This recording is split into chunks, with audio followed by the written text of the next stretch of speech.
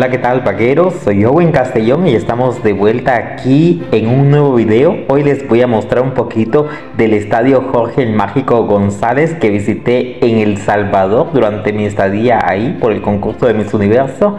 Así que aquí les voy a mostrar un poquito de este hermosísimo estadio que fue construido primeramente en 1932 cuando se preparaban también los Juegos Centroamericanos por primera vez en El Salvador y que actualmente en el 2023 tuvo remodelaciones precisamente por este mismo evento internacional. Hoy les voy a mostrar un poquito de cómo luce este estadio.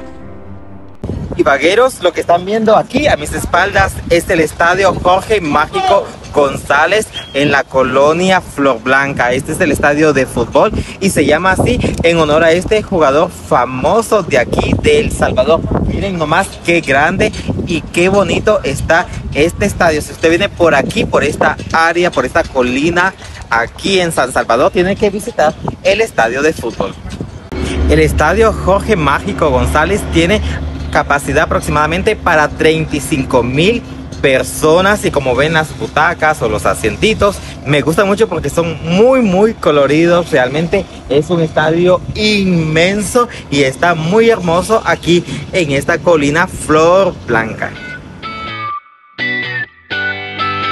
Jorge el Mágico González es una leyenda del fútbol no solamente para El Salvador, puesto que también es considerado el mejor jugador del siglo XX de Centroamérica. Es por eso que el estadio lleva el nombre de él en su honor a todas las hazañas que logró junto con su selección y también de manera individual con diferentes clubes.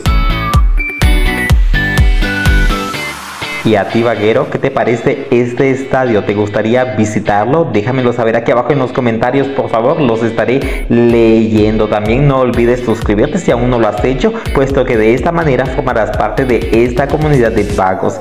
Seguimos en contacto, seguimos conociendo más destinos, así que mantente con nosotros y nos vemos en una próxima ocasión. Chao, chao.